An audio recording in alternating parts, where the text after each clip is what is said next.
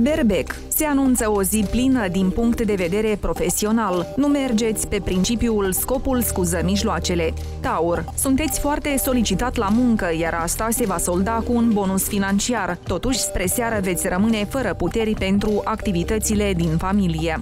Gemeni. Nu vă bazați pe faptul că prietenii v-ar putea ajuta, au și ei treburile lor. E o zi în care răbdarea vă este pusă la încercare. Rac. Trecutul nu mai poate fi schimbat, însă acțiunile din prezent cu siguranță vă pot influența viitorul. Acționați cu luciditate pentru a face din acest viitor un timp reușit.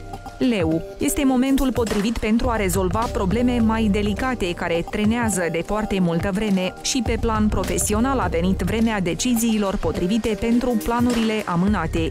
Fecioară. Este o zi favorabilă din punct de vedere financiar. Relația cu familia este normală, dar asta nu înseamnă că nu trebuie să depuneți efort pentru a o menține. Balanță. Există un dezechilibru între viața personală și cea profesională. Amestecul între ele poate fi extrem de dăunător. Luați măsuri pentru ca lucrările să nu o ia pe calea greșită. Scorpion. Micile detalii pot face o diferență enormă, mai ales dacă doriți să avansați la muncă. Folosiți-vă cu înțelepciune aturile. Săgetător. Interveniți prompt și fără ezitare pentru a pune lucrurile la punct. Chiar dacă distracția este la orizont, rămâneți pe poziție până nu vă veți atinge scopurile.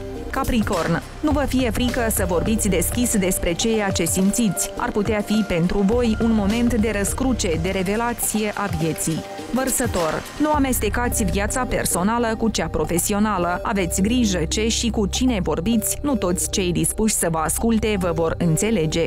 Pești. Ar trebui să știți că nu tot ceea ce strălucește este prețios. Nu vă luați niciodată după aparențe pentru că acestea sunt înșelătoare.